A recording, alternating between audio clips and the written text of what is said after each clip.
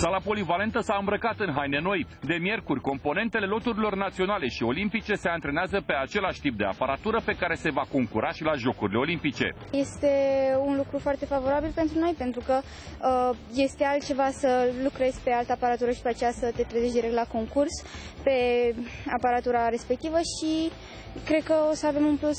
Avem sală, avem aparatură, avem nevoie de spectatori. Diferența presiunii pe care fetele vor, vor avea cu sala argentină la Jocurile Olimpice față de prezența sau neprezența spectatorilor în competițiile din România va spune foarte mult.